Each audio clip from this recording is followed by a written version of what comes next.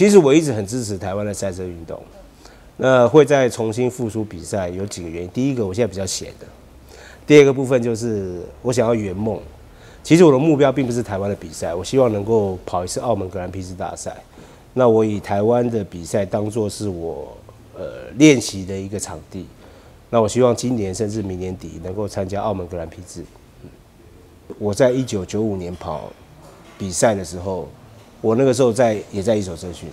哦，我曾经就讲过一句话，就是台湾的赛车环境还在幼稚园，现在好不容易终于小学一年级了。啊，那我是觉得，身为一个媒体，我创立这个车队，投入这个比赛，我的目的很简单，就是支持国内的赛车运动。我不希望让大家觉得飙车等于是赛车，所以我支持台湾的赛车运动。嗯，与其说建议啊，我觉得是应该先建议，不管是硬体的厂商或是主办单位，我觉得要降低赛车的门槛。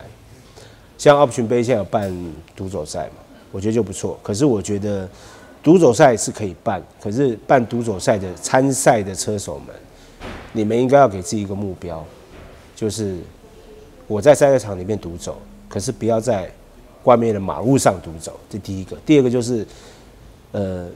不要跟别人去竞争，而是要跟自己的单圈成绩来竞争。